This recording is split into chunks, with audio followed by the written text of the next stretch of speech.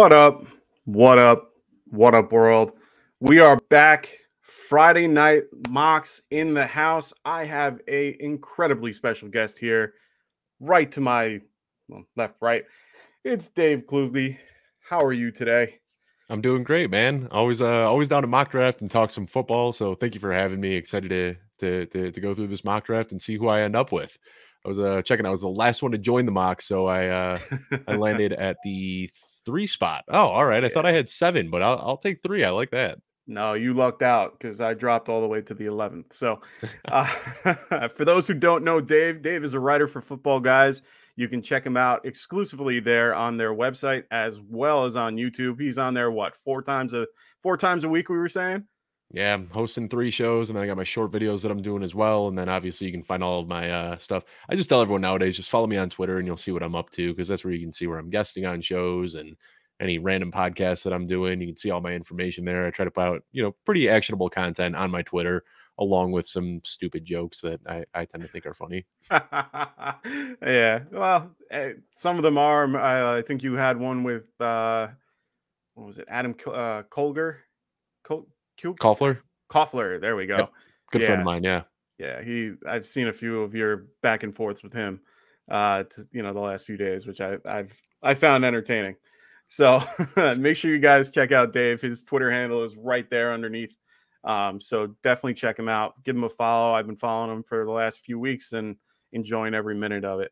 Uh, let me get into the mock. Let's get everybody set up up here and introduce everybody. Of course, we have OG in the house. Dem Boys, one of our first and always there for us. We got in the two seed, my brother, Jay Birdie. What's going on, Jay? Hope you're enjoying. Hope you have fun. Say hi to little guy for me. And we got Dave at the three. We got Flag Dog in the four. We got Ravery in the fifth. We have good old Brandon right here in the chat saying, let's go. And then we have the Gouch. Gouch is overseas right now in middle uh, in the Middle East and fighting for us. So thank you so much for what you do. We appreciate your service. Um, we got FF Tycoon in the house. Love having Tycoon here.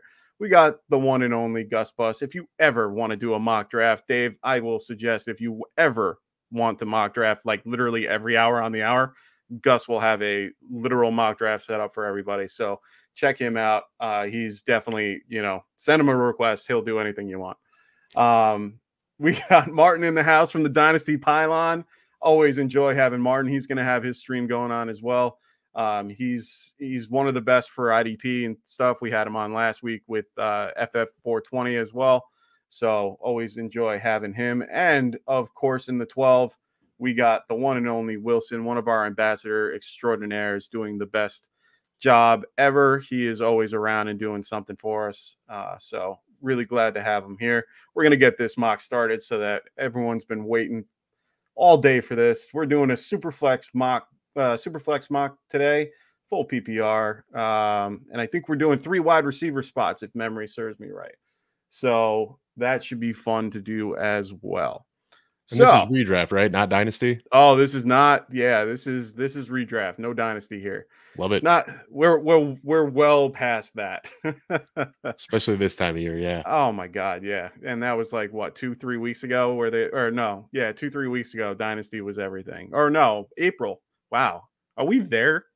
Are we it's really after the July? after the draft? You get like wow. another like two to three weeks of dynasty season, and then it turns into redraft season. Yeah, it's incredible. Uh, we got Dem Boys in the house saying, "What up?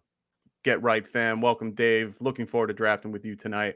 Let's get this party started." Anthony, of course, in the house. Hope those sleeves are rolled up. Going to be a good one. And then Wilson goes, "I wonder if uh, we could get Dave to subscribe to our YouTube channel." Yeah, no doubt. What is it? Yeah. Drop me the uh, link. I'll right. do it right now. Yeah, get right fantasy network, of course. I'll send you the link if you need it. And then uh, we got Dustin in the house. What up, guys? What's going on, brother? Brandon going, Gus Bus, the sleeper legend, of course. Like I said, he truly, if you are, are ever looking for a mock, he will have it ready for you. He does them all the time. Um, so let's get into the fun news. The big news of this whole week is, of course, Baker Mayfield getting traded to the Carolina Panthers for a contemporary fifth round pick, could be a fourth, uh, based on you know starts and all that fun stuff um, for 2024, which is literally nothing.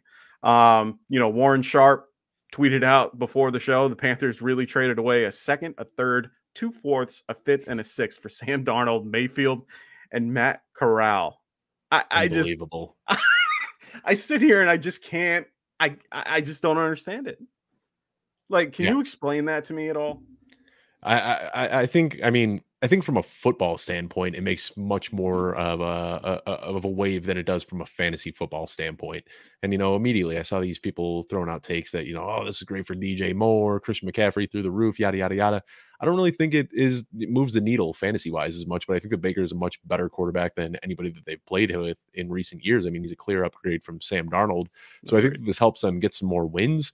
But I think that overall, you know, I don't think Baker's the type of guy that's going to be supporting this high flying offensive air raid attack. So, um, you know, I'm not getting especially excited about Terrace Marshall or, you know, DJ Moore might find the end zone a couple more times, but he's still at that, you know, wide receiver one, wide receiver two bubble for me. Okay. I think the one guy that it does move the needle for me a little bit, and only because he was completely off my radar before, is Rashard Higgins, who had a really strong connection oh, with wow. Baker Mayfield back in Cleveland. There might be some sort of Rashard Higgins reemergence now, um, you know, with the um, implied tension between Robbie Anderson and uh, Baker Mayfield, there's a chance that Rashard Higgins can step in and be that uh, you know deep to intermediate threat for for Baker. Yeah, that's crazy that you mentioned the Robbie thing. Uh, you know, I, before we came on the show, I was looking around and uh, I don't know who exactly it was, but uh, they did, ta- or Lamar did actually, you know, retweet and he was tagged, and it was post to him throwing routes to Robbie Anderson, and mm-hmm. you know, it, I I got to thinking, I'm like, this is you know the wide receiver room is kind of weak out in out in Baltimore. They only got you know uh, Rashod Bateman, and you know he did say no, and then kind of went on a show with Brandon Marshall and said no, no, it's just the fact that it would be a new chemistry that I have to do with Baker, and eh, I, you know, yeah, backtrack, I, backtrack, backtrack. Yeah, exactly. So maybe like would this be a good move for them? Um, yeah, I think it's a good move from a fa- football perspective. Like I said, you know, I think that they can get a couple extra wins with Baker than they could with Sam Darnold. But um, you know, fantasy wise, it just really doesn't do much for me. You know, I was looking at Robbie Anderson or not Robbie Anderson. I had DJ Moore as my wide receiver 16, and my immediate gut reaction was cool. I get to move DJ Moore up a little bit. And then I started looking at who was ahead of him. Yeah. I was like, no, I, I can't move him up. Like this is still yeah. Baker Mayfield's wide receiver one, and he's still probably going to be a high end wide receiver two at best. Yeah, I agree. You know, it, it's it's one of those things where I just when the news came about, I mean, of course, Twitter broke. Um, and it just was incredible. I looked at the numbers anyway. I mean, for them to get rid of him, trading, cutting him, whatever, it doesn't really do much. He, I mean, they're 21 million above the cap. Uh, that he's 10 million of that, which is insane. Uh, Robbie Anderson is 10 million for the cap, which is insane to think that they're above the cap by 21 whatever. It, the whole point is is that in this case, giving them away doesn't really hurt, but it doesn't really help, and it makes it where they're in a very difficult. You know, they wouldn't be in a difficult situation, but they would be kind of pressed to do it. They don't really have much behind them anyway. Eh, I, I, think it would just be a lateral move at the end of the day. Um, so, like you were saying before about DJ Moore, um, you know, you you moved them up maybe a tad just because of the no, you kept them right. Couldn't, couldn't even move them up. I mean, couldn't it, even move just, them. Yeah, it, it, doesn't move the needle enough for me. Um, let okay. me pull up my rankings right now and see exactly who it was. But like I said, I had him at wide receiver um, 16, if I remember correctly. Um, pulling yep. these up right yep, now. You're on 16. Sorry, I have them up. yeah, so wide receiver 16, and ahead of him, it's Diontae Johnson, Courtland yeah. Sutton, Tyreek Hill. I mean, yeah, I can't put DJ Moore ahead of those guys. Yeah. I just can't. No, and, and I've always had a really rough time with DJ Moore, even from the beginning. Um, I made a trade with my brother a few years ago when I picked him. I drafted him and in Dynasty, and I ended up trading him away. Um, you know, he was a little expensive at the time because it's a salary cap Dynasty league, and you know, I, I felt comfortable giving him away, and I still feel comfortable with the fact that I don't have him anymore. So it, it is what it is. I, have never been really, you know, crazy high on him, and it's because they haven't had a uh, they haven't had a quarterback to really make them worth it. Um, you know, so of course, DJ Moore is one of the options. The other option is CMC. Does this move him up to you? I, I understand that for 90% of the consensus out there, he's 101, 102. Do you think he takes over that spot or no? I mean, I had moved him up to my 101 a couple weeks ago, so I already had him there. I can't move him any higher than I've already got him. Well, of course. Um, yeah. From the consensus, though, yeah. I mean, I've I've seen it. I've done uh I don't know if you guys do a lot of underdog drafts. I know oh, you're, you're big into uh, mock drafts. I have about 12 right now, and I'm in one of yours too. awesome. Love to hear that. Yeah. I mean, I, I am always in underdog drafts. Oh, and yeah. uh, they just opened up their puppy tournament today, and I did uh, 15 of those entries, and I saw CMC go number one awesome. in quite a few of them. That's crazy. And honestly, they are a friend of the show, which I'm glad that they are. And, you know, might as well push this out while I have a minute. Make sure you guys check out and use promo code get right right there. If you guys use that, they'll match you. And like, you know, like Dave said, they have they have puppy tournaments right now, five dollars a piece. Like, come on now. Five thousand to the winner. Yeah. So that's that's crazy. If you're not in one of those, try to be in as many as you can. Um, you know, it, it's definitely worth it. I got into one today. I saw I saw a guy draft in the sixth spot or fifth spot. Draw they drafted Aaron Rodgers. And I went, might be getting a refund on that one. Well, but then what did they do in the second round? They drafted they drafted like Russell Wilson or some other big name tight end or not tight end, uh, uh, quarterback, and then they draft a tight end, and then they draft a quarterback, and then their first running back is Tony Pollard. Yeah, and, so there's a good chance you're going to get a refund on that. I, have been in a couple of those before. It really, I'm, I'm not even joking. If oh, somebody oh, really? watches their draft that terribly, um, Underdog will give you a refund and basically just throw that oh, entire oh, wow. draft away. Because, I didn't know that because it could be a type of collusion. You know, it's a big tournament with a lot of money on the line, and and what'll happen is people throw a few people in there and um, have uh, you know one or two people purposely sabotage the draft, helping other people load up on their rosters, and then it makes it unfair to everybody else in the tournament. So underdog will step in if somebody really goes out of their way and botches it like that, and uh, you might be looking at a refund. Interesting. I've never seen. I ne- one, I didn't know that, and two, that's amazing. Wow. Now, the one thing I want to point out, just looking at this board really quickly, this is a super flex draft, and there are only two people that started off QB QB. I'm kind of surprised by that. Yeah. Yeah. And I was one of them. yeah. Um, I, it's kind of strange. Uh, a lot. We, we've been, this group is probably one of my best groups. I literally try my best. I, I tried my best this week to get literally the best of the best that I had. I knew you were coming in. I told them you were coming in. I wanted them. I told everybody I want the best, and they're giving it. They're giving it their best, man. And and we grade we grade these every Monday night. So you know we're going to be back here on Monday grading everybody's mocks, seeing how everybody did, um, giving a you know giving our input on how we feel about everybody's draft. We'll definitely ask you at the end how you feel about a few of these. Um, not, I'm not going to have you go through every single one. That's just going to take you forever, and you know you got things to do. Um, I, I, love talking about my drafts as I'm making them. I mean, the one thing I'm kind of happy about, and and I reached for him just a little bit in my rankings. I've got Leonard Fournette ahead of Aaron Jones, but you okay. know I've got them in the same exact tier, and pretty excited to you know get Aaron Rodgers, who I am much higher on than the consensus, and then link him up with his wide receiver one and Aaron Jones. Agreed. No, that's awesome. I was actually going to ask you about some of your, uh, you know, some of your particular rankings compared to EC, uh, ECR. I mean, you're huge. You're you have Leonard Fournette at running back four. Mm-hmm. I just I eh, can you tell me why?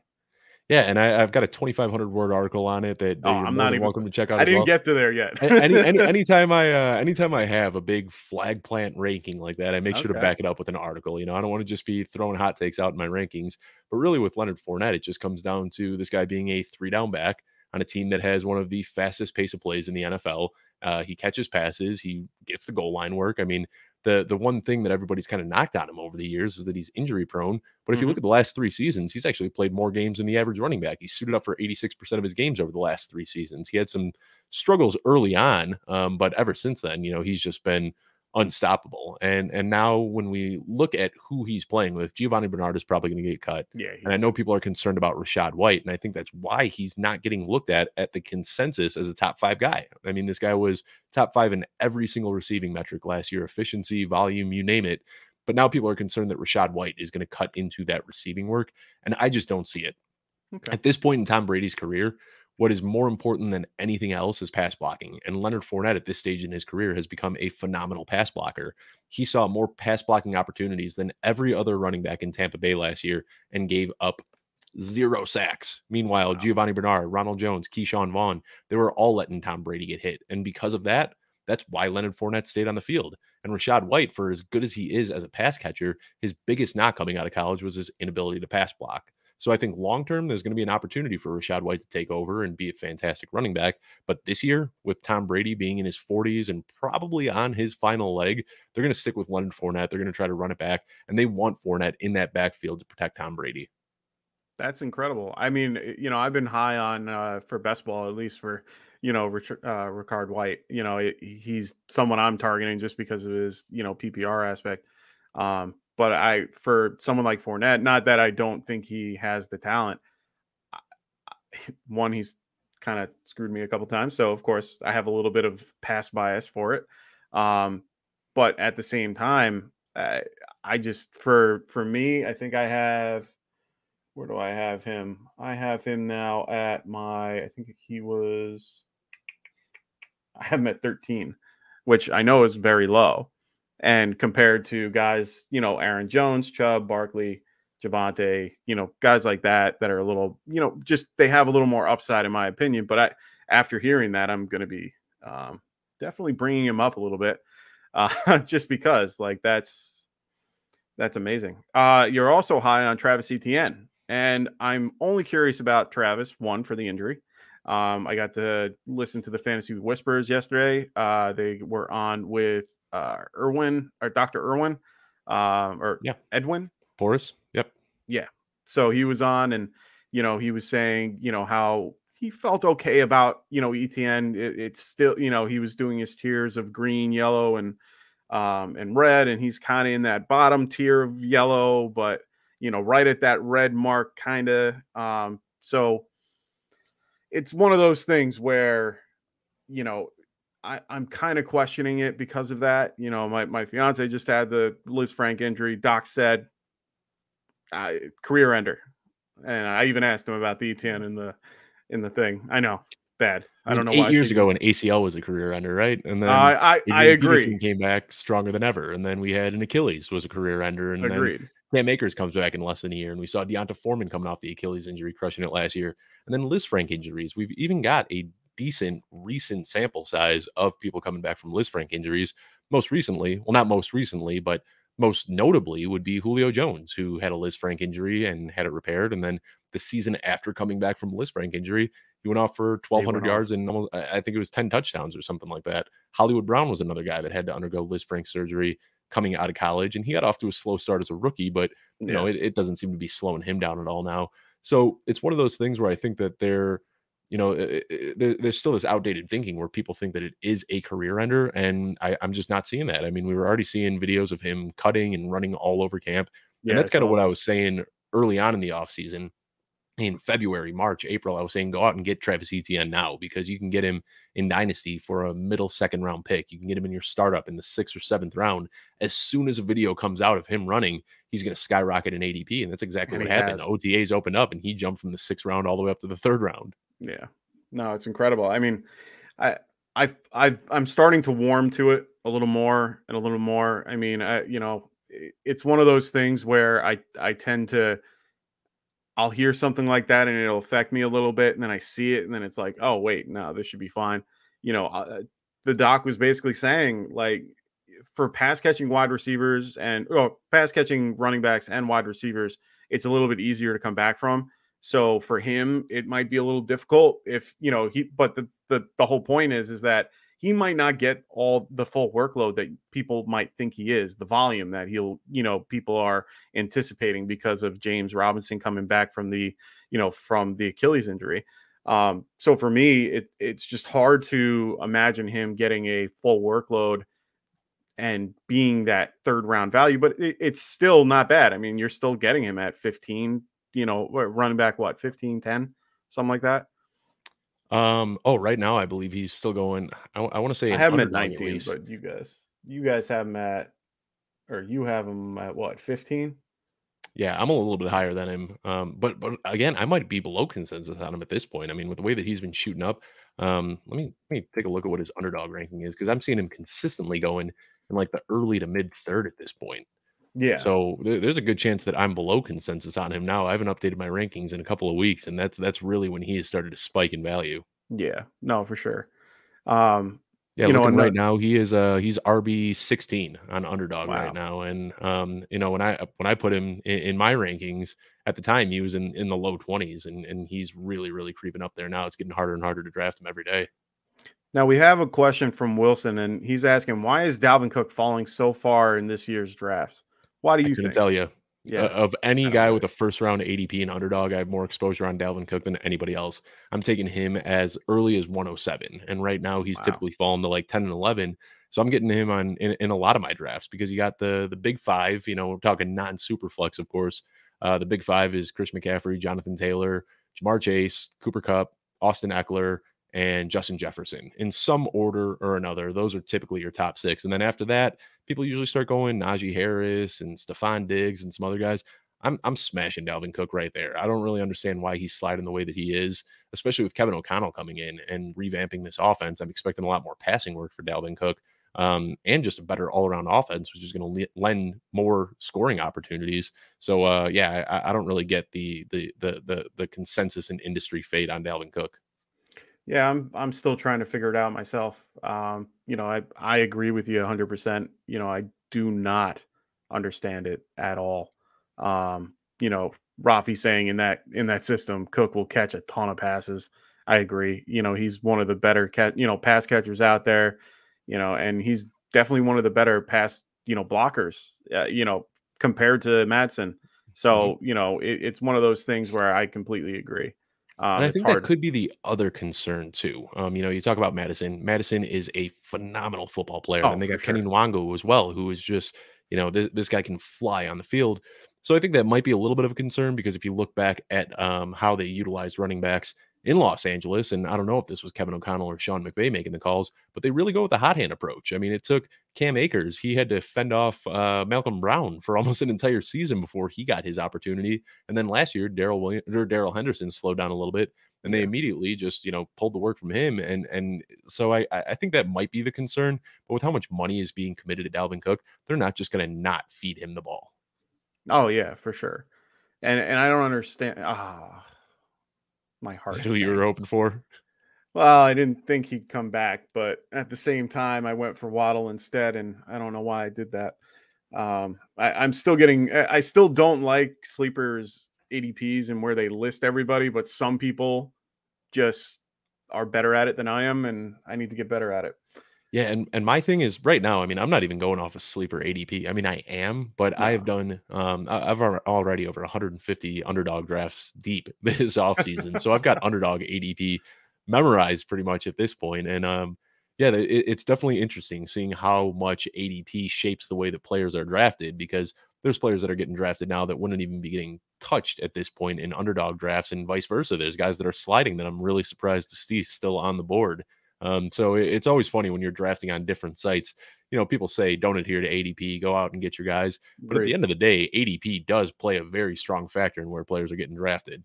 Oh yeah, I want my value pick. I want that pick where you know if I see I I, I had one the other day what that I did with the Whispers and I saw Dallas Goedert and it was like the tenth round or eleventh round and I'm like or yeah something like that. I'm like sure like if you're not going to do it I will like Yep. you know it took that long for me to you know because I I as a you know a typical way of doing things I usually like to punt you know if we do one QB or anything like that I like to punt the the quarterback and the tight end and you know, I'll I'll get somebody with decent value at the end. I'll draft the rest of my group high. Superflex, I've kind of done a little bit of both. I like doing it your way a little bit more. I kind of took a sidestep because you know we have three wide receivers. I figured why not.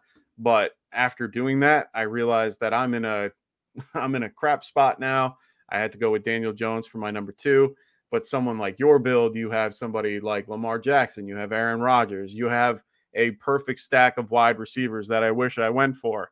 You know, like Michael Pittman, Co- Courtland Sutton, Allen Robinson, who another person that we could talk about real quick, which I completely understand the reasoning, and I'm behind you on this one. is you have him at wide receiver 11. And, and again, I've got an article out on this guy. Incredible. no, and and honestly, that's I, I agree with you. And I don't even have to read your article to know why.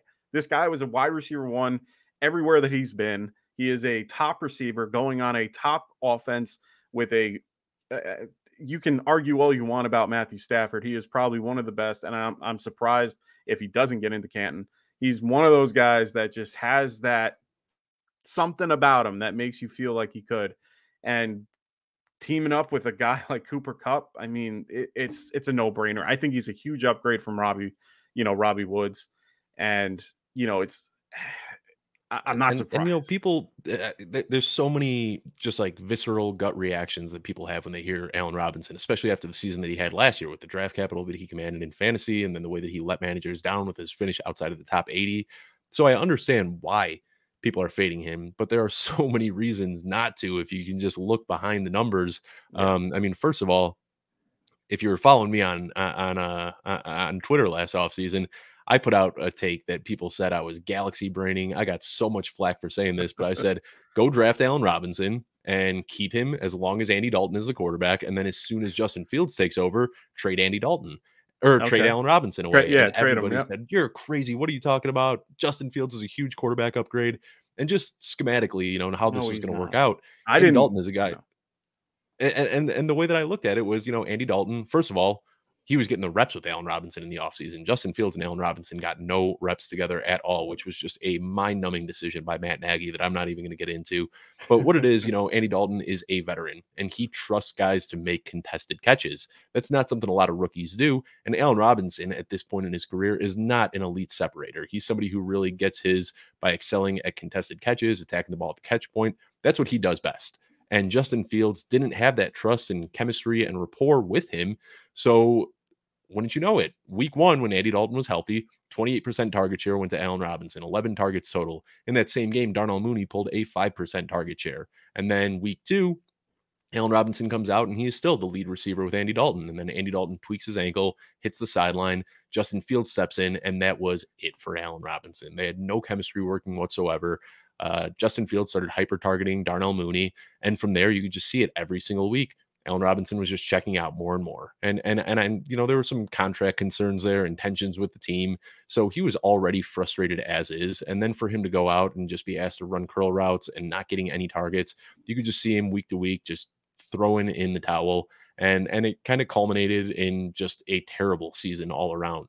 But what people are quick to forget is that Allen Robinson is still 28 years old. He is younger than Cooper he Kupp. Is. Also, yeah. this team in Los Angeles has a long track record of supporting two very good wide receivers. Even when Jared Goff was the quarterback, yep. they were supporting two wide receiver ones at time.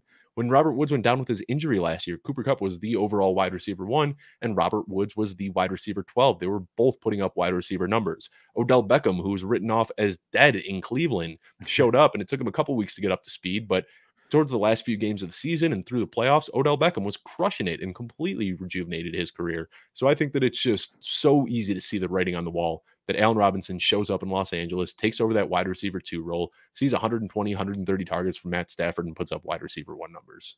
That I, I completely agree. I mean, I, I've been on that bad. Yeah, you know, I've been basically on the uh, caboose of your bandwagon for quite, you know, at least this offseason. When they made that move in the offseason, I was just like, holy crap, that's probably one of the best moves they could have made.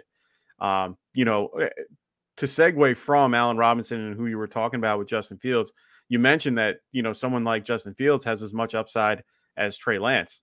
Um, so why do you think that after, you know, everything is, oh, I have an auto pick. Oops, that's okay. I get Cooper anyway. Um, you know, in so you mentioned the fact that he is, you know, just as much upside as Trey. Why? Because uh, honestly, I didn't see it in college coming into the pros. I actually was very low on Justin Fields in general. I didn't want to touch him. So, well, I think that there's this misconception that Justin Fields isn't a runner. And, and, he was never asked to run when he mm-hmm. was in college because his team was literally going through the regular season undefeated. And he was sitting in the second half of games. He didn't need to run, but he put up over 400 yards rushing last year on, uh, you know, less than half a season. But really, um, you know, what, what it is for me is that uh, he was kind of forced to play a little bit earlier than he should have been. You know, everybody said that Justin Fields was a guy that was going to benefit from getting some time on the bench, um, you know, kind of learning behind Andy Dalton and then getting plugged in some point in the midseason. Like I talked about when talking about Allen Robinson earlier, Andy Dalton tweaked his ankle in week two. Justin Fields was forced into the lineup, and yep. wouldn't you know it, he sucked and he looked terrible. And then I he agree. came out the next week and he still sucked. And the next week he was still terrible. And it took him some time to get up to speed. But if you look at his last four games of the season, he was a completely different player in his final four starts. In his first three starts, 56% complete, or in his first six starts, 56% completion, an interception per game, 134 passing yards, and 30 rushing yards. In his last four starts, he boosted his numbers up to 63% completion ratings, 1.25 touchdowns per game, 244 passing yards, and 64 rushing yards per game. Now, that's a pretty small sample. We're only looking at four games here, but if we extrapolated that over the entire season last year, that would have been the QB4 overall in fantasy behind, wow. You know, Josh Allen and just uh, Herbert and Brady. I mean, we were looking at elite numbers on a pretty small sample size towards the end of the year. So I, I think now with a new offense, you know, having a full offseason, knowing that he's going to come in as a starter, the ceiling is just so high for Justin Fields this year. And like I said, you know, he wasn't asked to run a lot in college and he wasn't asked a lot to run last year, but he's got the ability to run. And I think we see that a lot more now in 2022. Oh, that's awesome. Yeah, I, I still don't, I, I'm still not behind it. I didn't see anything that impressed me with him. Um, I'm looking at my team and I'm a little upset that I did auto because normally I would have gone with Gabe Davis right now. And uh, we won't talk about Gabe Davis, I promise, just because uh, I know for the last like three days, four days, maybe last week, or last two weeks. Everyone has literally not stopped about Gabe Davis. So we won't get into him today. Um, just I'm all, uh, all I'll say is I'm the conductor on the train for that one.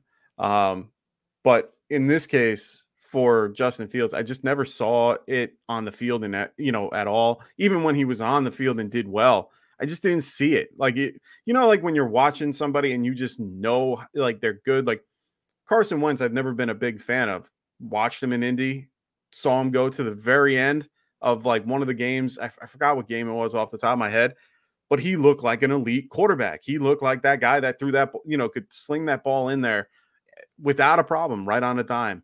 So he's always just not him in general, but you know, you could just see it. He has that it factor about him. I just I haven't seen that from Justin Fields in my own opinion. Like I get the numbers are there. I just I can't get behind it. I've always been a one, I, I can't stand running quarterbacks because of the concept that they have more risk involved with everything just because they can get hurt easily. I understand Ooh, that. I, would recommend looking up uh, Adam Harstad actually debunked Ooh, okay. that theory a while back with an article that I quarterbacks are like 15 times more likely to get injured in the pocket than they are on the run. Just yeah. because they're standing still they're standing still, they're getting hit low. Um, quarterbacks are wow. more likely to get injured in the pocket than they are when they're running. And, it, and and if you look at it, I mean, he broke it down. He went through the last like 40 years of data, going all the way back to like Frank Tarkenton. Yeah. I mean, he went way back on, on his on his data pull here. But um, you know, it, it, it, blew my mind, and that was one of the first things. You know, when I came into football, guys, I said something about that, and Adam Harstad quickly hushed me up with an article, and he said, "No, read this," and it, it, it absolutely blew my mind. Yeah, I Okay, I'll have to. I'll start having to change my mind. It's just so it's hard for me because a lot of the guys that pass the damn ball or that are statues in the pocket are a little bit more accurate with their throwing just because they're not moving as much. They have, you know, they can get the angle a little bit different. You know, Mahomes is one of those rare few, and Josh Allen, and you know, even Herbert. You know, they have the ability to run a little bit and kind of get out of pocket, but still know how to stay in the pocket and pass you know, compared to guys like Lamar Jackson, who I'm not a big fan of just because of the concept that he is not as accurate as I would want him to be, but he can run a ton. So I get the floor. Fantasy wise, I completely understand it. As a real life quarterback, I think he sucks. That's just me though. Um, Ooh, yeah, spicy. I just don't. I just don't like it. I, I I can. I never got behind the Lamar like him like the quarterback. Like I I just I don't I I don't get it. Honestly, I like guys like Josh Allen who can do both. He's accurate with both. It's just me. It's a weird thing with me, and that's I, I will always not be a fan of Lamar Jackson. I don't know why. Um, so Anthony's asking here, Dave, why do you think Stafford is being drafted so late in uh, in underdog? Because he just doesn't run. I mean, that that's all it is. The top six guys yeah. all have rushing upside. You're looking at Josh Allen, Justin Herbert, Patrick Mahomes, Lamar Jackson, Jalen Hurts, Kyler Murray. All those guys run the ball. And then after that, I mean, you can kind of just shuffle all those guys up. Aaron Rodgers, Matthew Stafford, Derek Carr, Kirk Cousins, Tom Brady. I mean, I don't know if there's any really strong differentiators between any of those guys. Um, so, I mean, I, I'm a little bit lower on Stafford as well for that exact reason. Um, you know, the, this team's going to throw a lot, but uh, you know, I just yeah. like the efficiency that you're getting from Aaron Rodgers. I think that uh, Derek Carr is going to throw uh, a little bit more than Stafford will. Um, and and you know, you think that there's going to be a lot of volume, but uh, Los Angeles, the Rams, they actually run a pretty balanced attack where they yeah. they run, rush the ball quite a bit as well. So you're not just going to be looking at you know Brady type numbers where he's going to be throwing the ball 750 times. Yeah, them boys telling me Lamar QB three this year.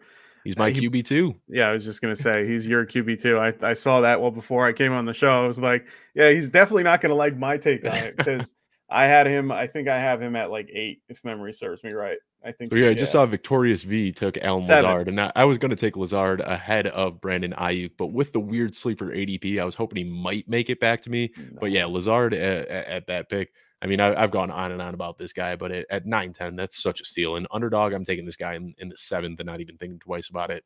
Yeah. Okay. Nah, I just got a little bit too uh, a little bit too hopeful that he might wrap back around to me, but I, I had my sights. I told you this is a good crew here. Yeah.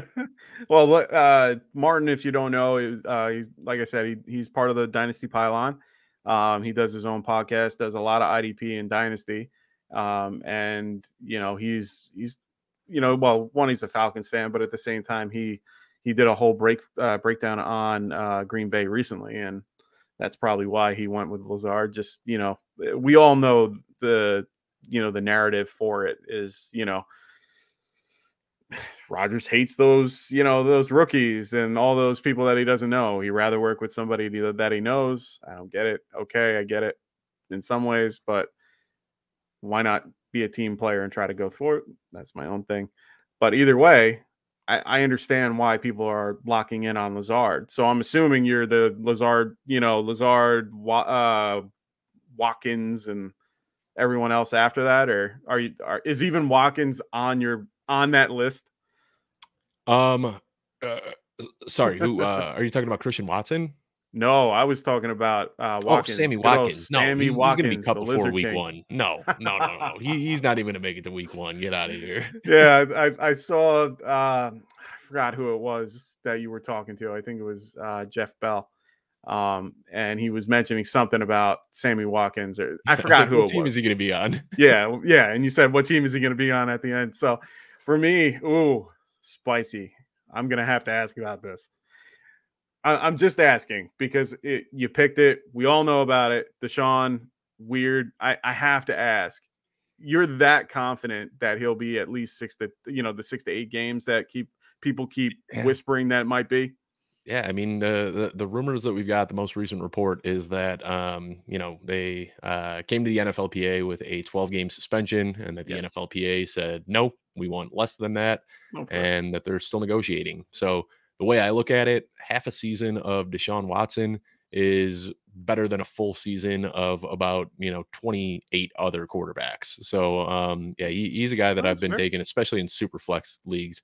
I'll take him pretty late. Um, you know, just kind of get through those first few weeks with what I've got, and then you know, obviously this is a mock draft. We're not really playing here, but you use him as trade bait, throw him out there. Um, but really, more than anything, I mean, just getting to plug a guy who is a top three to top five quarterback, get to plug him into your lineup for the playoffs as that hammer to get you through for a championship. Um, I, have been taking him late in, in a lot of drafts, especially super flex. Okay. I, I'm, yeah, I, I keep hearing, I kept hearing the reports of, you know, they're looking for indefinite. So like the minimum is one year. And then I keep hearing, uh, we were, I was talking with Kyle Letterman uh, a few weeks ago, or Leiterman. Sorry, I'm I'm I'm really bad with last names. Um, I was talking to him the other day, and he was saying the same thing that six to eight, and you know they keep going back and forth, but legitimately, it looks like it's going to be six to eight. You know, I I I was on a um a space with one of the basically Cleveland, uh, you know, everybody. I don't I don't know the names in particular, but they were basically just going off on how it, it's it's gonna be that six to eight or none at this point. We don't yeah, know. I've heard that as well that he might just avoid suspension completely because he Yeah. wasn't. And, you know, I'm I'm not a lawyer. I don't I don't know all the specifics of this, but yeah, Yeah, from what I've been hearing, I mean, it just sounds every single day like that. That total suspension. We went from two years to one year to half a year to six games to no suspension. I mean, it's certainly trending in that direction where it looks like we're going to see him on the field this year. Yeah, and and and that's where I'm just I, I don't know what to do with him. You know, it, and it gets to a point where like I get it in best ball. Best ball, I understand. You have them, you know, you for best ball, you're only picking two quarterbacks at the most most of the time. You know, some pick three because, you know, whatever they have. Like maybe for those, you know, builds you pick three.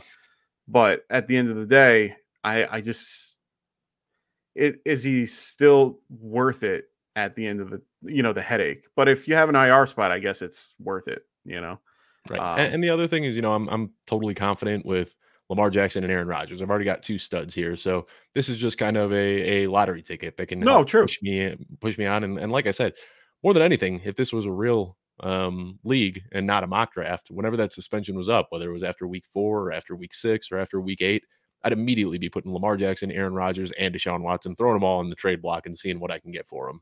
Interesting no, that's a that's an interesting strategy honestly Yeah, I'm, I'm a slimy salesman. Um, I, I was I'm- gonna say i just saw that now other I'm. I'm, I'm in the, the fantasy world now, but uh, you know, previous life in corporate America, I was a salesman and and and, and I like to trade. interesting interesting that's good to hear i can't wait to bounce some takes off you for uh for my dynasty league my brother's watching so i can't let him um so so for uh wilson we have a question he goes dave what team do you like the most so far other than your own and I'll be honest, I haven't that. really had a chance to look at others. I've kind of been hyper focused on my team. Um, Nice. Let me let me look through here real quickly and, and, you and got a see if minute. anything jumps out to me specifically. No, you definitely got a minute. Um, you know, I, I've I've been having a rough go of this one. This is definitely not my best. Um, this is uh, I I definitely don't like this build compared to what I've normally done in the past. I normally would like to go a little bit more. Um, you know, get my quarterback early, grab my running backs, then go with my wide receivers, even if it's a three wide receiver.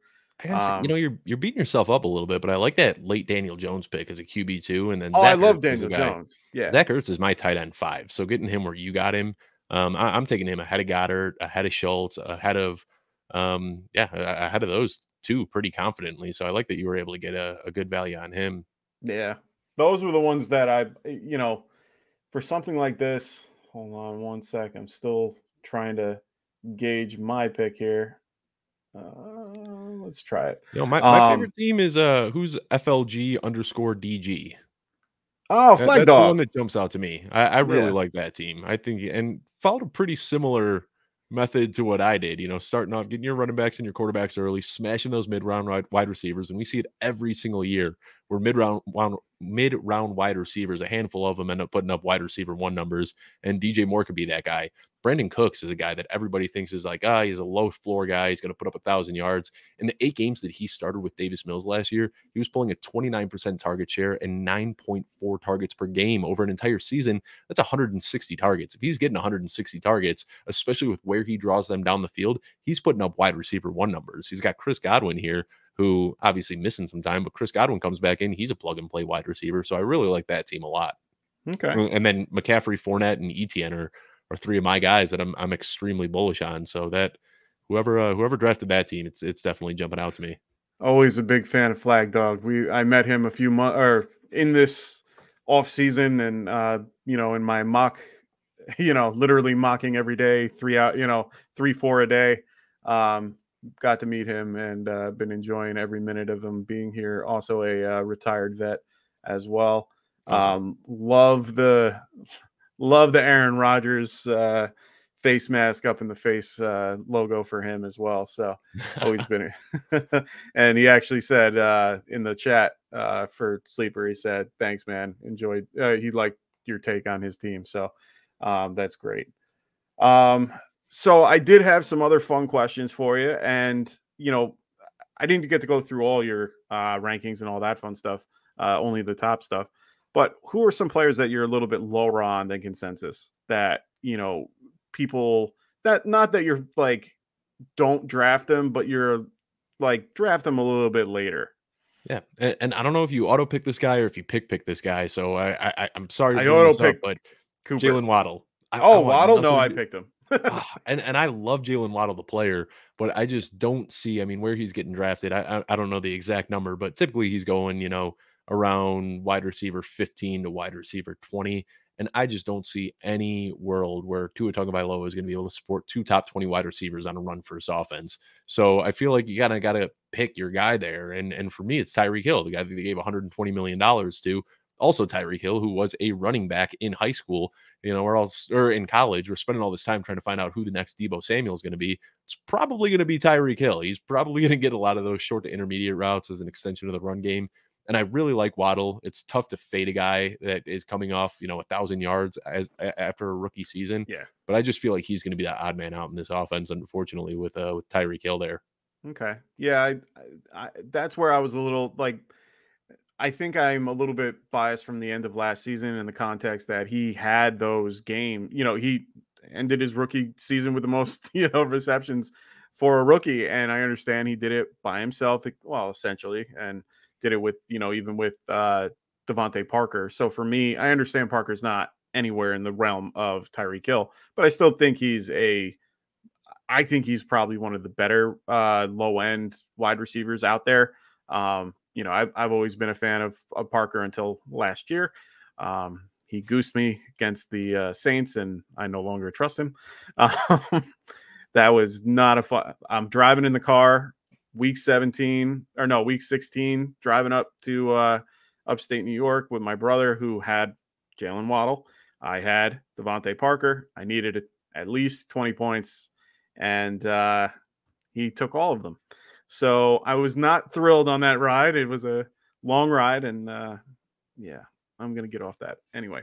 So, who are some other guys other than uh, Jalen Waddle that are just a little too high for you, and that you're lower, you know, um, Amon St. Brown is another guy that I just am not getting behind at all. And and I know you're probably like, why? No. Like these rookies that had great rookie seasons, what are you doing fading these rookies? And I think there was just so much situation that led them to these really good rookie seasons. I agree. And, and I just don't think that he's going to be able to repeat. I mean, the big thing with Amon St. Brown, you look at his splits uh, before TJ Hockenson and DeAndre Swift got hurt. He was pulling a 14.5% target share.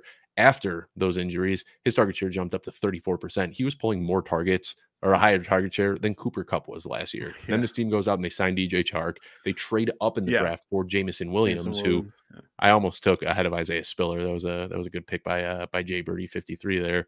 But um, you know, I, I just think that it's going to be such a crowded offense. Realistically, in my projections, I think Amon St. Brown is going to be fifth in targets uh, on this team. Wow. And it's just uh, the, the fact that he's going as a top 25, top 30 wide receiver is just way too rich for my blood.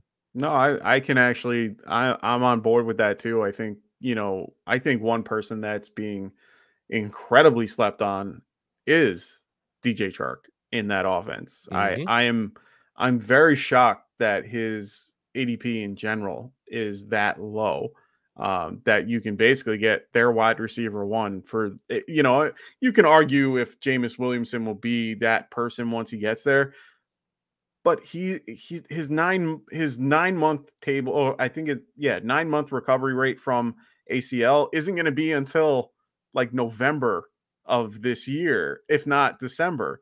So he's not coming back until maybe not until the end of the season. So it's one of those you know scenarios where I don't understand the drafting him in general. I get if you're going to put him on an IR spot at the very end of drafts, whatever, that's fine but I, I still don't understand it. But I completely agree with you with you know with Amon St. Brown. Yeah, he could be the number two or three or something like that. But who would you put as you know? Eh, you were saying that he would be wide receiver five or you know the fifth in well, not wide receiver five. Sorry, Hockenson and Swift are Sorry. ahead of him. Swift, okay, and then Chark is going to be ahead of him over the course of the season. I think that you know he probably finishes with more targets than Jameson Williams. But as soon as Jameson Williams comes in, my fear yeah. is that Amon St. Brown drops to fifth in the pecking order. Okay. All right. So fourth until he gets there. All right. Right. Uh, yeah. Okay. I mean, and that makes complete sense. You know, and like I said, I'm on board either way. Where Amon St. Brown operated and found so much success last year um, was in the very short to intermediate parts of the field. I mean, we even yeah. saw him taking snaps out of the backfield and playing as a running back. And that was directly correlated to when DeAndre Swift got hurt. And I mean, they just Jamaal Williams is the type of guy that has that sort of um, dynamic profile where he can do yeah. all of those extra things. Craig Reynolds was a guy I wasn't even familiar with until he popped up out of nowhere last year, if I'm being honest. so Amon St. Brown, you know, he just has that versatility where he can do those things. But the only reason he was used in that role is because DeAndre Swift was hurt. So all of those short to intermediate targets that he was gobbling up last year, are going right back to DeAndre Swift. And if you look at his overall numbers, DeAndre Swift, I'm talking about here, mm-hmm. they, they don't look quite as impressive because in the final two games of the season, he was very limited. And then he missed a handful of games before that. But if you look at the games just where he was healthy, he averaged more targets in those games than any other running back did in the NFL. He was averaging almost six targets per game. I mean, that is ludicrous numbers. So my my fading of Amon St. Brown has so much more to do with me just loving DeAndre Swift than anything else. Um, the last thing I'll say about DeAndre Swift is that he's a fourth round rookie. And I know at a certain point, draft capital stops mattering, but the hit rate for these guys is just non existent. I mean, in the last 20 years, the fourth round rookie or the fourth round wide receiver that has scored the most points over the, over the course of his career was Cecil Shorts. So, I mean, that's what we're looking at with Amon St. Brown is like best case scenario, everything falls into place. His ceiling is Cecil Shorts. Wow. Yeah, I I don't get that. I, I I don't understand why people like for me. Uh, I understand. Uh, one guy that's actually incredibly high on uh, Swift is uh, FF Tycoon, um, who's a good friend of the show. Has his own with the Fantasy Boardroom on YouTube. Uh, really great channel, great guy to watch, great friend of the show, and you know he's incredibly high on him. I just can't get on board with it in any shape, way, or form for one of those top picks. I don't I don't even think I have any of them in best ball. Um, but eh, did you see my, my Swift ranking? No, and I, and I actually just moved him down a few days ago. I bumped Dalvin Cook ahead of him. Yeah, yeah, um, I'm seven. He, uh, in PPR, he's my, my six. Yeah, and I, am not. Yeah, I, I, think the fantasy pros ones, those might be a little bit messed up. I don't stay on top of those That's quite okay. as much. Football guys is where you can see my really up to date rankings and um, that you know I've tweaked a little bit. So I think you might be looking at um, half I'm PPR, looking at but my full PPR yeah. rankings: Chris McCaffrey number one, Jonathan Taylor, Austin Ekeler, Leonard Fournette, Dalvin Cook, DeAndre Swift, Aaron Jones. I mean, I I'm, I'm very bullish on DeAndre Swift. Okay, yeah, I I still gotta maybe get on that train. I'm just uh, I like guys like I like Barkley a little more. You know, I like Harris over there. I love Mixon. You know, I'm pretty much Mixon's probably one of my favorite. You you were having a conversation with Adam the other day that he was, you know, like I'm not touching Mixon. I'm like, why? Yeah, his O line, he literally his O line is literally increased from probably the worst in the league to the best in the league. They're yep. I think on uh, Pro Football Focus they they have him as like the I think the eighth ranked or something like that. They moved them way up. Actually, they, another reason why that you could probably be on board with Swift and they ranked the the uh, the Detroit Lions at five for their offensive line. Yep. They ranked them fifth. And I'm sitting mm-hmm. there like, who's on their line again? And I'm like, oh, that makes sense. you know, and I, I get it. I'm, I'm a little you know, more. Some sometimes you, you got to separate from you know the football player and the fantasy football player. I know, right? And realistically, you know, I, I'm one of Swift's biggest proponents. And last offseason or last season during the year, I was tweeting about what a terrible rusher he was, and he was like he was objectively yeah. awful between the tackles last year, but he gets his points through the air. And, and you just got to look at that passing. Like there, there isn't any other running back that's going to be seeing six plus targets per game, especially in a PPR league. That is just so valuable. And then, you know, you, uh, um, drawing a blank on the guy's name, Dan Henry. Sorry, Dan Henry over at Football Guys just did a study, and a target is worth 2.5 times more than a rush is. So even if like if you look at his six targets per game, that's equivalent to 18 carries per game. I mean, he's getting a full rushing workload just through the air. Even if he's not touching the ball on the ground, he's still making up for it just with what he gets through the air. No, that's that's very interesting. I never I never knew that or even thought of that, you know, thought about it in that particular way. You know, especially for full PPR, half I'm assuming is a little bit less um, right. Yeah. Okay. So, you know, I that's that's awesome. Um, I do have Cody asking was uh was talking with a friend last night about who is the better quarterback between Baker and Jared Goff. What are you guys thinking? that's a good question, man. Oh, I mean, it, it's tough to compare the two because they're so different. Um, you know, Jared Goff is Fir- both first a- round picks, first number one overall. first overall. Yeah, Yeah. and and I mean, Jared Goff is a technician on the short throws. Like he he's not going to miss those short throws. Another reason to like DeAndre Swift is he's just going to No, hit agree. DeAndre Swift nonstop behind the line of scrimmage. Um, but I think like if it's you know you need to win a game, I, I'm going with Baker just for the the big arm and and the heart and and the you know the the effort that he puts out on the field. Um, over the course of a season, I'd probably lean towards Jared Goff just because he's a little bit safer.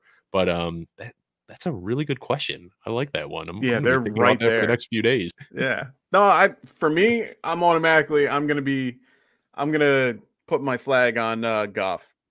Yeah, I and and I think for fantasy, you'd put it on Goff too, just because Yeah. it's I like I don't the- even I know. like the team better. You look at the surrounding weapons too. McCaffrey and Swift, very comparable. Yep. DJ Moore and and Amon St. Brown, very uh, yeah. That that's tough, man. That is that is a really tough question. RJ going with Baker. I you want to know some and and this is I heard this too on uh, a Cleveland talk and they were saying, you know, Cleveland's line horrible. Uh, Not Cleveland, sorry. Carolina's line. They're not Yeah. that great. Austin Corbett is their best guy and you know, eh, I understand that completely. I am on board understanding that their line is trash and you know the Lions have a, a essentially a better line and you could maybe argue better coach too um you know so a lot coach is a big deal in a lot of ways and you know i i am not the biggest fan of ben mcadoo um As, a- as a Giants fan, I As wouldn't expect you to be. No i was i was angry as could be uh, about the eli thing uh i'm thankful that i got to go to eli's last game which i was very um honored to be at. Um got to see him play against the dolphins and win. Uh i actually he uh, tweeted the other day his first win at giant or at metlife stadium.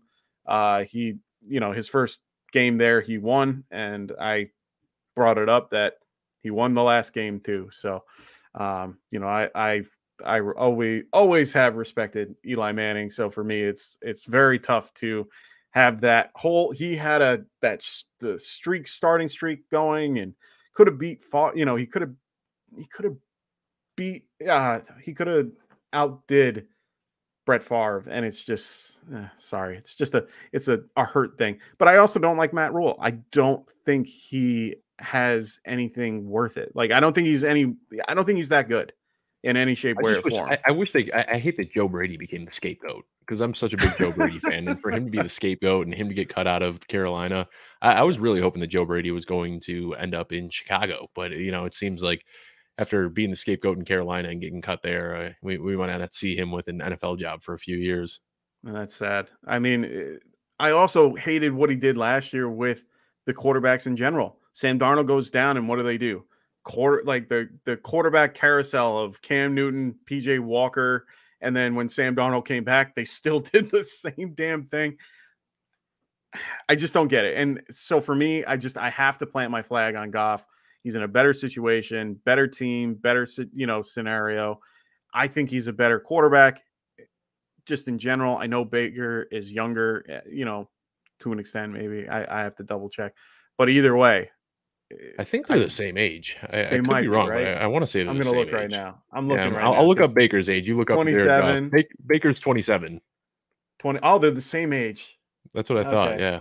Ah, well, then I'll go with Goff. Be, I don't know. I, Yeah, I can throw I can Trubisky in the conversation too, and let's just make. Oh it a- my a- a God! Please let's not Spider-Man throw meme. Trubisky. in. I, I'd be the first one to say no to Trubisky. I, and I picked him. Like I, he's on my. I, I, I drafted him on my team, and I still. And it was only because I had no other option. You know, I, I was doing a. I was actually doing a puppy draft today, and I. It was a, a quick one actually, and when I was doing it, it. I completely auto drafted, and I'm like, oh no, I don't have two quarterbacks, and I didn't think to, you know, I was like, oh crap, I have to go pick someone. And I go to look and I'm like, no, I had Daniel Jones. And I'm like, oh, I didn't even realize I had Daniel Jones already. I thought I had to pick from Carson Wentz. And I'm just like, or not, oh, not Carson Wentz, uh, from Mitch Trubisky. And I'm like, oh, I mean, no. I, I, I'm totally okay punting on QB two in in best ball and taking Davis Mills in the 17th round. Oh, I would rather take Davis Mills. So much Davis Mills this year in in best ball. It's just I mean, even if I have two quarterbacks, if I don't have one of those, you know, top six, top seven guys, if I only have two quarterbacks and they're both kind of shaky, I'll, I'll, take a QB three in Davis Mills. I, I yeah, love me that too. guy. I'm a big fan of Davis Mills. I I thoroughly enjoyed his first game, and it I remember it was like a Monday night or Thursday night game. Comes out. I, just remember it was prime time. I remember he came out had a great game. I thought he did real well. They had like he was going against one of the best defenses, you know, defenses in the league. I forgot what I forgot what the matchup was, but he looked incredible. Like he he stayed in the pocket, got hit, threw the ball, caught, you know, whoever, you know, whoever he threw to caught it. Like he he just had that thing that, you know, like I was saying before with quarterbacks, he had that little bit of extra oomph to it. He had that accuracy. I just I think he's going to be great you talk about the accuracy. Um, you know, he had two yeah. games where he came in in the second half and kind of had to play cleanup, and and he was terrible in those two games. But in the 11 games that he started, his uh, completion percentage in those 11 starts would have been the best of any rookie in NFL history. Yep. So I mean, I there, he, there, there, there's there's a huge ceiling with Davis Mills that I think people aren't really tapping into yet. No, I'm I'm excited, and they actually have a decent supporting cast not saying that they have the best in the world because they don't. Brandin Cooks, young. Yeah. Well, I mean, outside Brandin of Brandin Cooks, yeah, but Nico Collins, Brevin no. Jordan, John Metchie, they've got a lot of guys that could pop on that offense. And I, am excited. I'm excited. I'm excited mm-hmm. for that team. The uh they and they picked up a, a tight end too that no one's heard about. I forgot the guy's name because of course I forgot about him, but I heard that they drafted some guy that is incredibly you know, up there in tight end status. Like he's not, uh, you know, not he's Brevin not Jordan. Yeah, Brevin Jordan. Oh yeah, yeah, and he's he's a phenomenal pass catcher, which is kind of weird. They used him in line so much last year, but he's a guy that can kind of play that like David Njoku, Mike Gesicki type of yeah. tight end, where he lines up in the slot. Fantastic pass catcher, a little bit undersized, and they just utilized him so weird last yeah. year. So I'm hoping that he gets uh, some more routes run this year. Yeah, I mean they let go of Jordan Akins that was there last year. They kept him instead. So Giants picked up Jordan, of course, but mm-hmm. he'll probably be on the roster bubble and cut just because they love Bellinger so much because that's literally all they talk about on uh, anything yep. Giants related. yep, I've insane. heard. Yeah, you know, and uh, I I get the backing of Steffi once in a while where she she will back me. she loves Bellinger, man. She yeah, does not stop talking about him. Oh, I can imagine, and I I see her post about it consistently. So believe me, I I definitely I am definitely on board with that.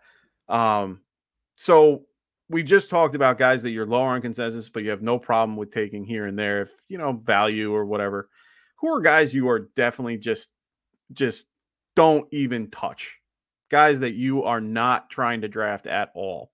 And I'm I'm a volume drafter. I, I do especially best ball. Like I do hundreds and hundreds oh, and hundreds of drafts every offseason. So I will draft anybody if the price is right.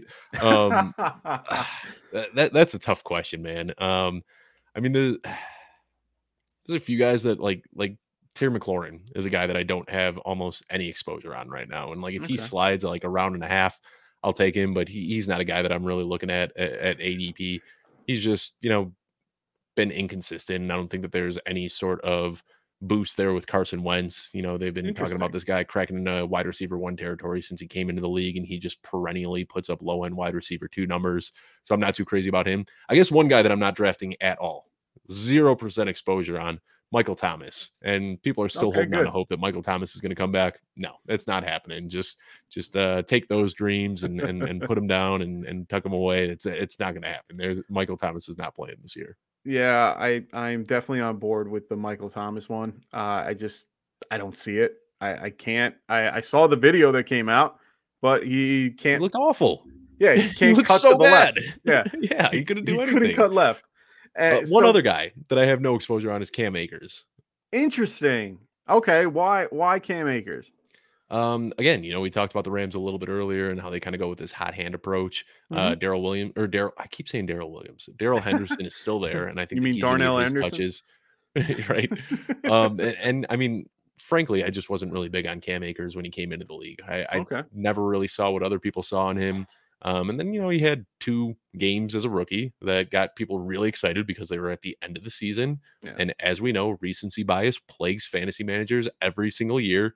I'm not going to get on a whole Gabe Davis tangent here because I know that's your boy, but I think that recency bias is the reason everybody's No, I all, agree. you know, lovey dovey with Gabe Davis, and same with Amon St. Brown, and same with Brandon Aiyuk two years ago, and the same reason that Kyler Murray is a great value this year. It's like people, for some reason, only remember what they see over the last few weeks of the season, and that's why Cam Akers was just vaulted into this like you know can't miss prospect coming into last year, and then of course he injured himself, and he looked like hot garbage when he came back last year, and Yeah. I realize now he's a little bit further removed from that injury, but I just think it's going to be much more of a frustrating committee in in Los Angeles than him getting the 30 touches per game that people thought that he'd get last year. No, I, I can agree. I mean, uh, I I don't mind him because he's going to be fully recovered from the uh, from the Achilles. He's you know he came back a little earlier, which everyone gave him that you know like oh my god you're back. I think he'll be okay. The, I think the only reason why I would be low on him is more the line. That offensive line is Whitworth is gone. yeah, and and I I keep having that same argument with Ezekiel Elliott too. Is you know you're losing big parts of the line, and you you lost Saffold years ago. You know you lost you know Whitworth this year. You're gonna be you lost Corbett too. You lost a bunch of guys that are just the reason why you did so well at one point. Now, granted, not Akers, but other you know their run game in general. I just don't see it. They did draft uh what's his face Williams, but he's not even good at pa- you know pass blocking, so he might not play that much. The the other thing I want to say about Williams though is like, yeah, he slid in the draft, but you got to remember the Rams had no first round pick. Like they didn't no, have any picks. no, I get that. So he was still, he was their third pick. So clearly they wanted to address the running back situation because they used their third pick on Kyren Williams, and and I don't think that he's a world beater by any chance. But no, you know, with Darrell Henderson there, Jake Funk there, I mean, there Oh is God, a little Jake bit more of a, a crowded room than I think people people realize. And honestly, it wouldn't surprise me one bit if they end up bringing somebody else in this offseason. You know, if Giovani Bernard gets cut from Tampa Bay, like we talked about earlier, I could see him landing in Los Angeles. I just I, I don't think that Cam Akers is going to live up to his current draft stock, getting drafted in the third, fourth round. interesting. Yeah, I, I can see it. And you know, one of the biggest guys for me that I'm low on is like I said, Ezekiel Elliott, and it's mostly because of the line. And I understand that he's coming back from injury, and everyone wanted to talk about you know what you know Tony Pollard and all that. I know you're a little higher on Ezekiel Elliott, and I'm kind of wondering why. And it's it kind of I'm not going to get swayed because I, I don't feel like like it's gonna. I don't think a lot of what you might say is going to change it, but it's mainly because of the concept that, like I said, I, I know his line is beat up. They didn't draft anybody that I think is anywhere close to what they had. Connor Williams, you know, uh, La'el Collins, like those two guys were big parts of that line. Mhm. And I'm also low. I'm just low on anybody on the Da- on Dallas in general. Not the only one I'm not is is Dalton Schultz. And I it, the reason being for me is one Tyron Smith barely played last year. He was and when he was in, he didn't look great. When he was out, he uh Dak looked like crap. So I already lost half the Cowboy uh, viewers on here, which is fine, and that's just Dustin, so I'm fine with that. Um, but at the same time, I'm sitting there and I'm like, if you only have Zack Martin and Dak is back, and you've seen the numbers with Dak with Tyron Smith out, I can't see the numbers for CeeDee Lamb going up. I can't see anything because of the concept that he's going to have to be against the one. He's going to have to do everything he can to get the ball out quick. I just I don't see it. And Zeke then running behind that line, I don't see it either. So what what try to change my mind, but I I, doubt- I doubt you can, but try. I just I, I think your Giants fandom might be clouding your vision a little bit. I mean, last year this team was eighth in rushing yards. They were second in passing yards, and they're. I mean, I I understand why why you don't like them, um, but but I just think that this is just a a fantasy powerhouse. I think right now with Dak Prescott sliding like outside of top ten QB conversation is ludicrous. And again, oh my gosh, I'm just going to keep saying it. Recency bias. Like Dak Prescott was terrible down the stretch. He helped so many fantasy managers get into the playoffs. And then when they needed him most in the playoffs, he was terrible and he was putting up like 11, 12 points per game. And I think that's why people have soured on Dak Prescott. But um, no, I think this is still going to be. I mean, they were they they led the league in offensive yards per game last year. Like I said, second in passing yards, eighth in rushing yards. This team gets it done in every single facet. And um, now with Amari Cooper out of the picture, I think the passing game is going to be a little bit more consolidated. So I love CeeDee Lamb now that he's going to get a chance to be a little bit more versatile, play in the slot and play out wide. You already talked about like in Dalton Schultz. Um, I'm actually a, a, big Zeke guy just because prior to his PCL injury last year, he was crushing it, and yeah. then he got hurt, and I, think he did him a he did himself a disservice by playing through the injury because he clearly wasn't 100% and he just kept muscling through it and not putting up great production. So people look at his overall numbers and they say, well, his efficiency has plummeted. When if you look at him when he was healthy in the first four weeks of the season, he was actually playing some of the best football in his life. He had trimmed down, he was quick, he was getting more involved in the passing game. So Zeke is still what 26 years old, I believe. I mean, he yeah, is not so. old. He he just turned 26 years old. He's still relatively young. And I mean, if we're gonna fade Zeke for his age, then we got to fade Dalvin Cook and Leonard yeah. Fournette and Austin Ekeler and, and pretty much and every other. Yeah. Exactly, they're all around the same age, and I think it's crazy to think that Zeke just falls off the age cliff. And I realize he's got some more mileage on his body than some of these other backs. The last thing I'll say about Zeke, though, regardless of how well Tony Pollard plays, Tony Pollard is never going to pass Zeke up on the depth chart. It's just not going to happen because of Jerry Jones. And, you know, people are trying to moneyball this situation and say, well, look at how efficient Tony Pollard is. It does not matter. Jerry Jones is giving Zeke $80 million, yeah, and he is going to make sure that Ezekiel Elliott earns every penny of that contract. Go look at Emmitt Smith in his final years with the uh, with the Dallas Cowboys, 30, 31, 32 years old. He was still getting 250 to 280 carries per season. I mean, yeah. Jerry Jones is just going to make sure that Zeke gets fed. The guy's got a freaking feed me tattoo on his stomach. You better believe that they're going to feed him. Oh, no, for sure. it's one of those things. It, might be a little bit of my uh, my Giants but at the same time, I've always, I've actually, I owned Amari Cooper for most of last year. I traded him away. Just uh, my salary cap dynasty league, he was just too much money, and I needed to kind of clear some cap. But at the same time, I've had I have Michael Gallup on my team for five bucks. I'm able to keep him for a little bit. You know, so for me, I I don't mind the Dallas offense. It's just I I see I don't see someone like Lamb doing well you know, because I think that Cooper took away from Lamb, like whatever people were putting on, you know, the the number one DB is going with Cooper 99% of the time. Now they have to switch it. Now I understand that Cooper was out for, you know, at least four games last season. And, you know, Lamb took over. He did okay by himself, but it's a very, very small sample size for him on his own. And I just I don't see him with the production, and he doesn't have a number two to kind of give him a little bit of space other than Dalton Schultz, which I understand he's good. I like Dalton Schultz; he'll get a ton of volume. I that's why I'm high on him. But you have Tolbert who is coming in, Jalen Tolbert, who could maybe take that second role. There, you know, I that's what they keep saying. They keep talking. Also, I mean, up. it looks like Gallup is going to be ready for Week One too. Those have been the reports. Ooh, so really, yeah, and, and, I know you know a couple weeks ago, um, it, Doc, it didn't sound good, and now no. it seems like they they've changed it up pretty quickly. I mean, the reports that I've read are saying that at worst he's going to miss one or two games, but that they're hopeful he'll be ready for Week One. Because they, I, from what I when I was listening yesterday with the Whispers, and I was listening to Doc Edwin, he he was saying him coming back anytime before. Uh, I think his injury was in December.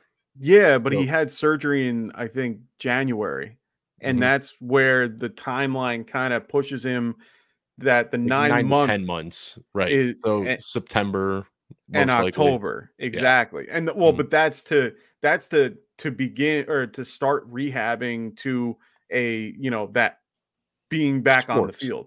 Yeah, right. So yeah.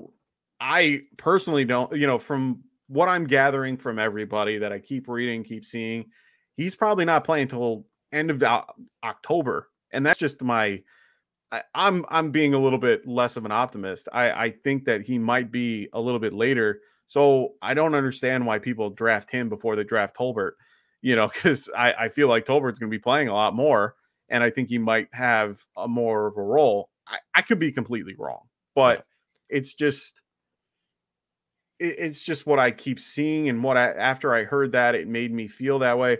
Now I have, I, I, I still think Gallup is a very talented receiver, but for me, I, I, I got to look at Mark Harmon's uh, uh, reception perception, where you know what routes he likes to take, and if I look, it's probably just the nine route down the edge, um, because yeah.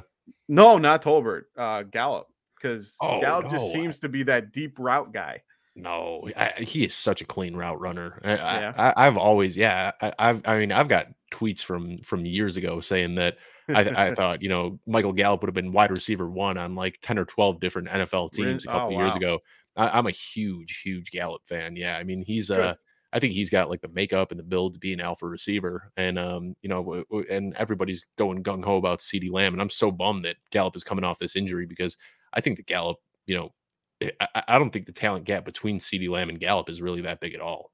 Interesting. Yeah, because they paid him. I mean, they paid him a good amount. I mean, they gave him a good five year deal. I mean, they they still and they got rid of Cooper to keep him. So Mhm. I I They've completely understand it. Oh no, they definitely do, and that's why I took him. You know, I traded for him uh beginning of last or two seasons ago. Uh unfortunately, I I traded too much away and didn't get Justin Jefferson or Antonio Gibson, but that's another story for another day. Um, s- yeah, it's okay though. I ended up getting Josh Allen for like five bucks, and I am completely okay with that. Um, I'll, I'll try to find this one video and send it to you. But there's there's Yeah. a clip that I, I saw when I was look, watching a game back uh, from from two years ago, where Michael Gallup he just runs one of the filthiest routes I've ever seen, and then he elevates like this man flies through the air. He looks. I like know. Oh, that Uh, you probably know the play that I'm talking Oh, about, yeah. and it's just when I saw that, I just became such a huge Michael Gallup fan. Yeah, I I've seen. Well, that's why I said like I, everything I see is just him being on a nine route with a deep ball where he can just go up and get it better than anybody else, and just everywhere around him, you know, it, he just can catch it. But I've never seen him just you know doing a quick post route or doing like these different routes where he's used more like on a slant route or like any it's always on the sideline out or you know or downfield. I've never seen him get anything else you know and he's not really a big volume guy. I think the most targets he had in one you know one season i think it was like seven targets or no no the one game where he had like 12 and then he only caught like seven of them you know Yeah. things like that. But i could like i said a lot of my giants bias here too uh, I just I just sent you this Oh, you video did? on Twitter that Yeah. you can check out where he looks like he's going in and then he runs a route outside, shakes the Washington defender. And I'm not kidding, he looks like Michael Jordan. I mean, this guy he, he's That's 15 perfect. feet away, jumps up and then gets both of his toes down. I mean, it's just it, it's unbelievable the body control that he's got. No, that's awesome. I think that's one reason why I'm a big fan of Darnell Mooney as well, which I know you're high on as well. I think Mooney is going to be great. I just I'm a little concerned about the concept of him being the only guy. You know, like think about who he's there. I understand you're even high on Kmet, uh, Kmet as, as well. I, am I higher reason. on Mooney? I, I thought I was below consensus on Mooney. I don't Maybe, maybe his consensus ranking has shifted a little bit, but I believe I'm I'm below. Um, Oh, consensus well, either way, Mooney. how do you feel about Mooney in general? Just your own, you know. Yeah, I mean, I think you were already kind of tiptoeing around it a little bit, but I think I think Yeah. he's a phenomenal wide receiver too. I just don't think that he's got the makings of being a wide receiver one. Um, and that's why you know because I'm fading Mooney a little bit. That's You're why I'm so little bit. bullish on Cole Kmet. You're just a tad over ECR. You're only by three. Interesting. All right. Well, I'm well, that that's that. by Fantasy Pros. But no, Yeah. I was only curious about it because so you feel like it's okay. So I think that both these teams, uh, the Cowboys and the Bears, in a way, they have kind of a similar situation where they have that top guy. They have some guy waiting in the wings that might be in in like three weeks with you know Byron Pringle, who I I like. I I just like the talent. Um, but then you have Cole Kmet there, a good you know good tight end, good receiving tight end. Same with Schultz, and then a better quarterback, of course, with Dak. Do you think that he can handle those, you know, number one, you know, corners and do what he can to to be able to be that low end wide receiver one? I mean, his floor is probably what wide receiver three.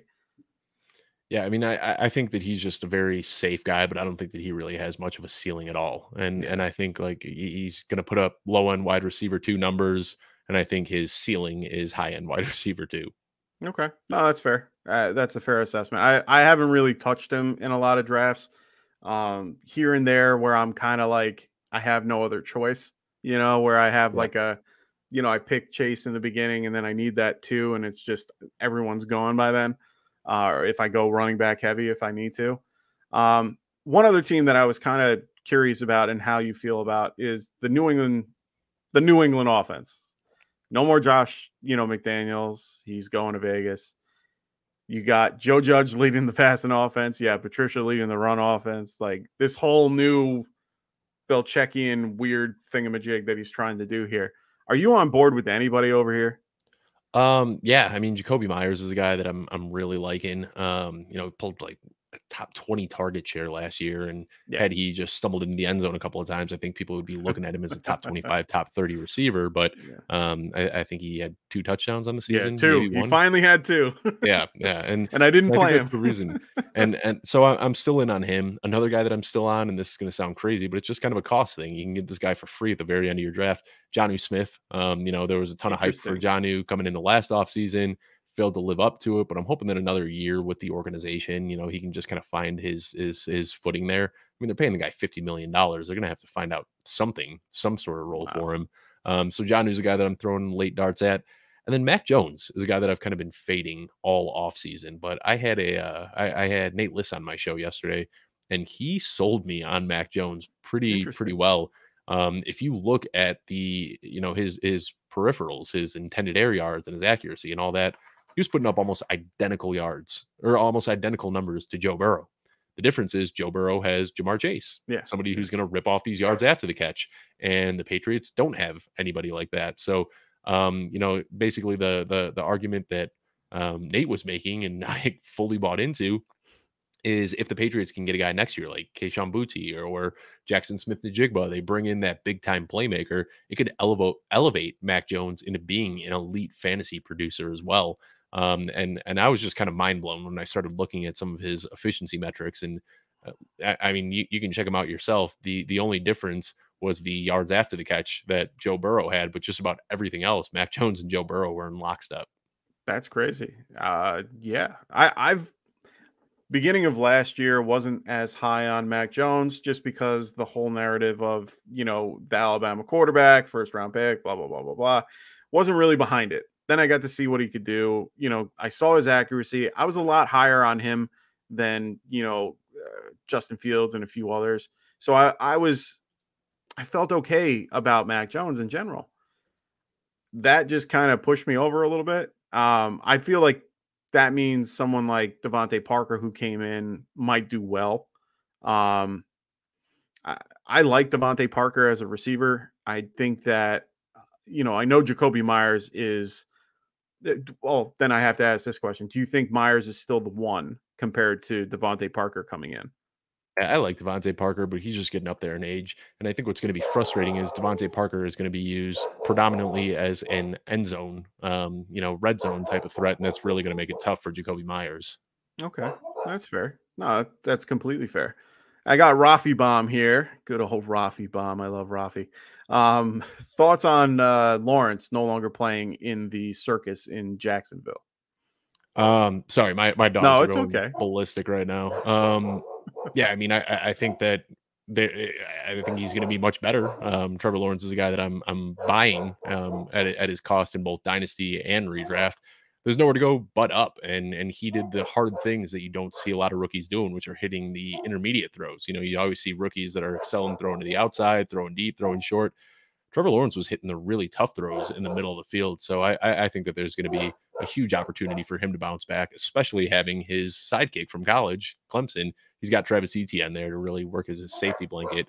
He checked down at the highest rate of any quarterback in the league next year, last year, and now he gets Etienne back with him this year. So I'm I'm I'm really excited about Lawrence. Yeah, I've been trying to grab him a little bit everywhere in best ball drafts, trying to get a little bit, you know, more on top, you know, more on board with him. I try to grab him every so often in, you know, super flex mocks. I do, I feel the same way. I, you know, he has a great supporting cast. I, I think Christian Kirk is very underrated for, you know, I understand they paid him a lot of money and everyone's like, why the hell did they pay him? He's not a bad receiver. Like he, he, he was the number two behind, you know, DeAndre Hopkins and he's still a I think he's a talent. He's very good at what he does. He's quick, and I've always been on board with him. Uh, he's just been underutilized in Arizona. I love Marvin Jones. I know he's old. I don't care. I still love what he can do and puts up numbers every year, very consistent. I love Evan Engram. I'm on board. I, you know, I've always been on board with him, and even what Trevor Lawrence was able to do with what James O'Shaughnessy and you know Dan Arnold. So I I feel very comfortable with him. And then now, like you said, he has Etienne. So even with everything going on in that running back room, there's a name that consistently keeps coming up. And I think yeah, I, I think you know where I'm going to go with this, but it's Snoop Conner. No, not No, on not board. into it. No, James Okay. Robinson is such a great running back. You know, he's going to immediately take his role back when he's there. Etienne is going to play as the passing down guy. I just don't think there's any room for Snoop Conner in this backfield. Okay. Yeah, I was listening to um uh John Shipley, I think his name is. Uh he's one of the beat reporters for the Jags and I was listening to him on the uh I think he was on the Diehards or Elite Sports, one of the two. And uh no, he was on Diehards with Bob Harris. And when he was talking about this backfield, he was saying that the one knock on Etienne and the only knock that he has in this compared to someone like James Robinson is pass catching or uh pass blocking. Mhm. So it might hurt him a tad, but not as much as people might think. And they might use him more at wide receiver or at least in slot, you know, just moving him out of there and just The nice thing though is, is Lawrence is he's strong and mobile. So Yeah. you don't really need an elite pass blocker. It's not the same situation like when we were talking about the Buccaneers earlier, where you got Tom Brady, Tom who's just yeah. this decrepit statue standing in the pocket. you know, it's Trevor Lawrence can he, he can knock a defender down. He can he can move. So um yeah, I mean I, I that's that's always been the knock on Etienne. But also, I, I think especially once James Robinson comes back, we'll see a lot of not necessarily two back sets because they won't be lined up as backs. But I mm-hmm. think that we can see James Robinson in the backfield blocking and then Etienne lining up in line or in the slot. No, I can I can see that too. And you know, you could also go off of, you know, Doug Pederson and how they, you know, he used his running backs. You know, he he's able to spread them out and you know, he definitely likes using multiple backs. So we'll get to see how that goes. I'm kind of interested either way. I'm a little nervous about uh Robinson's timetable. I know they said that he'll be back by training camp, but we'll have to wait and see how that goes. Um, so we'll have to wait and see. Um, all right. I think that's all I have for you. I've kept you way too long, and it's okay. I know that you'd rather just talk football all night, and that's fine. But I don't want to keep you too long. Um, I want to make sure that I let our viewers know to make sure that you guys like and subscribe to the channel. I know that I have it above here, but make sure you guys check below. There's the subscribe button, hit the like button. Make sure you guys are doing all that. Help us out, help the channel. Also, if you don't have Sleeper, make sure you get it. I mean, I I I am not endorsed by Sleeper in any shape, way, or form. And Dave can tell you, get it. It is worth having if you don't already have it. We you can uh in our description below, we have the link to our private sleeper channel. We have a great community of people that are in there that are always talking football. I'm in there all the time. I try to get you guys the best injury news when we can when we get into the beginning of the season or in season. Uh, I try to get it to before sleeper uh before sleeper uh, I got an 80% hit rate, but we'll we'll see how that goes this year. Um, you know, now that I have Twitter, it's it's a dark rabbit hole. Um, other than that, Dave, I really do appreciate you being here today. Um, I really, uh, honestly, uh, we were talking before the show, just really enjoyed um, everything you know that you've given to me here. Uh, let the folks know about things that you're going to be working on or anything that might be uh, coming up for you in the next, you know, whenever. Yeah, uh, really simple. You can find all my written content and video content at footballguys.com. Um, and then on Twitter, you can see where I'm guesting on shows, you know, takes I've got, videos that I'm dropping, and all that. You can find me on Twitter at Dave Kluge. That's Dave K L U G E. Awesome. Yeah. Always, always a great thing. And and I've been following you for, you know, the last few months. Uh eh, well, yeah, maybe last month. I haven't really been on Twitter long, but uh the minutes that I've been on there, I've been enjoying everything that you have. And I really do appreciate you coming on to the show today, uh, being able to help our viewers uh, with a lot of things. And uh yeah, I hope to have you hope hope to have you here again. And uh yeah. So thanks again for Dave being here. For the rest of Get Right Nation, thank you so much. We will be back here on Monday. We're going to be grading these mocks, see how see how Dave did against our best that we have here, and uh, my crappy team, so I'm already I don't get to grade my team, thank God. Um, but otherwise, thank you so much for being here. We'll see you on Monday. Bye.